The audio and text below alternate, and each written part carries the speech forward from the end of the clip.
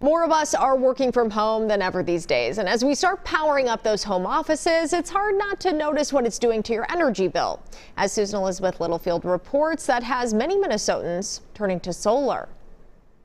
Lots of things have changed at this Plymouth home. On the inside, Brian Anderson had to quickly set up an in home office for his work with Medtronic. On the outside, he decided to install solar panels and use the sun to energize his home. You see the green, which is basically today's sunshine. He can make his own energy and share any extra.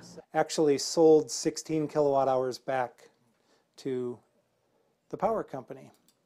So that's kind of cool. He's far from alone. With more people working from home and paying higher bills, more people are making the solar switch. You know, we've seen really booming interest across all sectors for solar. These are some of the projects Griffin Dooling's company has worked on. He owns Blue Horizon and is president of Minnesota Solar Energy Industries Association. And he says solar is the choice more Minnesotans are making. You're reducing the amount of energy that you'd have to buy from the utility, so you're saving money uh, on your expenses in that respect. But then also, you know, you're creating clean energy that doesn't require uh, you know fossil fuels and doesn't require uh, miles of distribution cable and things to reach your home.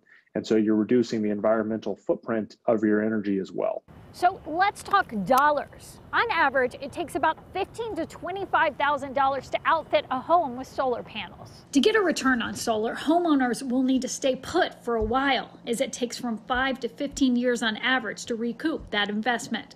But there are incentives, credits from the state, and this big one. For example, if you did a project on your home today, you'd get a 26% federal investment tax credit. And it's important to note that that tax credit is a reduction in your tax obligation. For Brian, his home is where he plans to be, and it seems his investment is giving him some good energy. In Plymouth, Susan Elizabeth Littlefield, WCCO 4 News.